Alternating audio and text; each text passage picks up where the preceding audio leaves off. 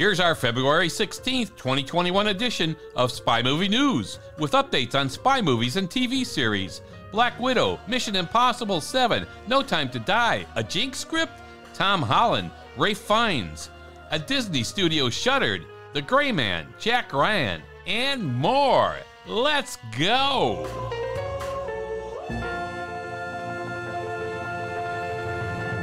Hi, this is Dan Silvestri of SpyMovieNavigator.com with another very special edition of Cracking the Code of Spy Movies. Remember, all the links to the articles that will be mentioned here are on our website under episode notes. Let's get to it. Spy movies turned into TV series. Movies get made into series, and series get made into movies. This time, the industry is retreading two movies from the 1990s and 2000s into a series. True Lies on CBS. The spy movie True Lies has been given the first pilot order of 2021 2022 for CBS. This is the second attempt to get a pilot made of a TV show based on the movie. Fox made a pilot commitment in 2017. The movie was a fun spy movie with Jamie Lee Curtis's character Helen finding out that her husband Harry, played by Arnold Schwarzenegger, was an international spy. You can read more on variety.com and Mr. and Mrs. Smith. The Brad Pitt Angelina Jolie movie about assassins hired to kill each other was released in 2005. It's been announced that Mr. and Mrs. Smith will be brought out as a 2022 series by New Regency and Amazon Prime Video.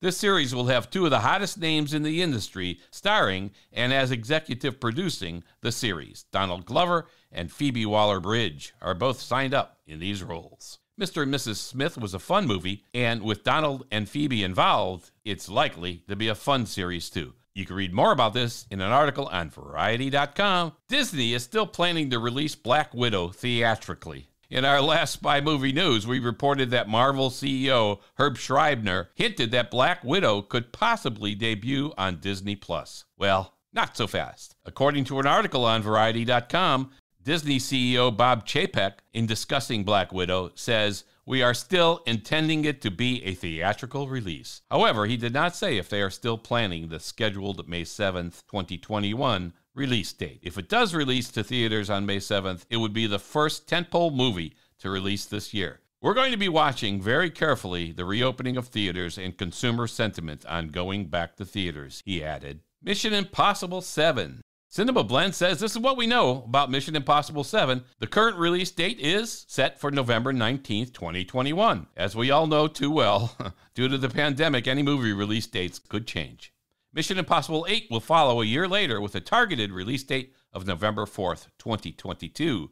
Christopher McQuarrie is directing both MI7 and MI8. Although in 2018, he was quoted as saying he'd rather have leprosy than direct MI7. So that was either a negotiating strategy or maybe it was like Daniel Craig's quote about doing another James Bond movie back in 2015 when he said, I'd rather slash my wrists than play James Bond again, as he was just tired when asked right after production wrapped. Of course, we know the cast. No surprise, with most of the filming finished. It will likely get a PG 13 rating like the earlier Mission Impossible movies. More Mission Impossible stuff. Mission Impossible 7 is filming at Jakku from Star Wars. An article on cinemablend.com tells us that Mission Impossible 7 has filmed in the same United Arab Emirates desert that Star Wars The Force Awakens shot its scenes of Jakku. It has a picture of Simon Pegg, who plays Benji in the MI series, sandboarding on the desert. Simon appears as Unkar Plutt in The Force Awakens,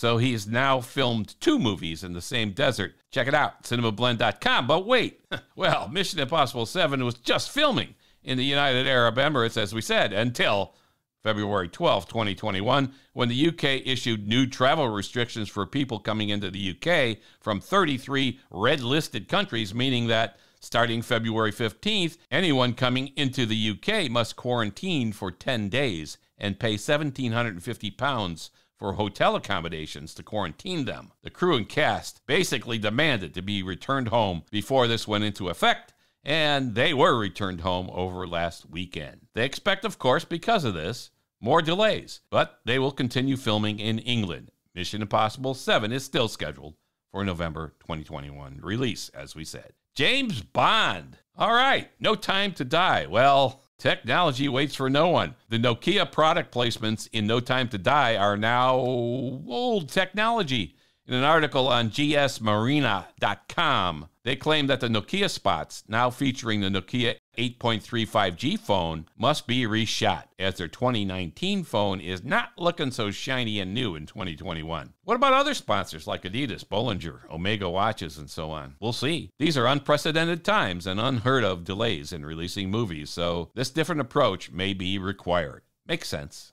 A Jinx script online after Die Another Day was released. There was supposedly a spin off in development based on Halle Berry's character, Jinx. That movie was never released. But according to an article on CinemaBlend.com, a script attributed to Neil Purvis and Robert Wade has surfaced. The movie was reportedly going to tell the pre Die Another Day backstory on Jinx. It supposedly was to have Michael Madsen as Damian Falco as her handler. That would have been interesting to see. Maybe it would have been better than our opinion of Die Another Day. The article mentions that there are now rumors of spin offs of the characters Moneypenny and Nomi. Oh, wow. Ralph Fiennes would like to continue as M after No Time to Die. Mike Reyes has an article in cinemablend.com in which Ralph Fiennes says, If anyone from Eon Films is listening, I'm very keen to continue training the new Bond. I love playing M, and I love being part of the franchise. Unquote. Given how well he plays the role, and with the history of the James Bond movies keeping the main supporting actors while the James Bond actor changes, hey, we hope Ian listens to him and keeps him. We like him. You can read this article at cinemablend.com. Tom Holland would love to play James Bond. 24 year old Tom Holland talks about how he would love to play James Bond in an article on MovieWeb.com. The article, while talking about Holland's age, mentions that Henry Cavill, when 22, first auditioned for the role of Bond for Casino Royale, but lost to Daniel Craig. The article suggests Holland, being so young, may be better suited for the Kingsman series, which has used younger actors in its leading role. You can read the article at movieweb.com. We think, who knows, by the time the next Bond movie, After No Time to Die, finally releases, maybe Holland will be in his 30s. He's played Peter Parker in the Spider Man movies and was the voice of Walter in the spy movie for kids, Spies in Disguise. So he may be too famous for Eon to consider him for the role, as some of their choices for Bond have been less famous actors in the past. Will future James Bond movies end up on a streaming service? We mentioned in our December 29, 2020 Spy Movie News that MGM might be looking to sell. So, with the pandemic delay costing MGM around a million dollars a month in interest, it's rumored that MGM is looking for a buyer. A couple of articles have updated information on this. One at cinemablend.com discusses this rumor and points to an article on Forbes.com which says that MGM wants 9 to 10 billion dollars and Forbes doesn't think they will get it. MGM has tried selling itself twice before. However, the current rumors are that Amazon Studios might be interested, but who knows. Both articles point out that Eon Productions can throw a wrench into any of this at any time. If a service like Amazon bought the franchise, it would want to be able to have an exclusive on all of the Eon Bond movies, past and future. Currently, multiple platforms have streaming rights to the various previous Bond movies. Hey, James Bond First Edition books are for sale. Whoa! An article on MovieWeb.com points out that a collection of the first edition of James Bond books is selling for more than $600,000. Ten of the books have personal inscriptions from Ian Fleming. Even though we at Spy Movie Navigator are not in the market for these first editions, we did visit the reading room in the Lilly Library at Indiana University in Bloomington, Indiana, in the U.S., to read their collection of the original Fleming manuscripts, including Fleming's handwritten notes, like Moneypenny's name change. This was exciting. The reading room at the library is closed until the end of the year for renovations, and you need to make a reservation to view the manuscripts. However, if you have an opportunity in 2022, it is worth a visit for any James Bond fan. Yes, you won't own the books, but you won't have to shell out 600,000 to read them either. There is no charge to read them in the reading room, and these are the original typewritten manuscripts that Fleming did. Yeah. We have a two-part podcast on our trip that you can find in your podcast apps or on our website. Studio behind Spies in Disguise is shuttered by Disney. Disney has decided to shut down the animation studio Blue Sky Studios. Blue Sky was responsible for the Ice Age series, the Peanuts movie, as well as one of our favorite spy movies for kids, Spies in Disguise, which was released after Disney bought the studio as part of its deal with 21st Century Fox in 2019. This news saddens us as we had hoped that Spies in Disguise could have been turned into a series of movies. The character of Walter and Lance could have evolved into a kind of Q and Bond type of relationship in future movies. The gimmick of Lance turning into a pigeon worked for Spies in Disguise, but wouldn't have to be repeated in future movies. However, Walter's gimmicks could be there to help Lance out. Oh well, another good idea shuttered, as the original movie only grossed $171 million worldwide.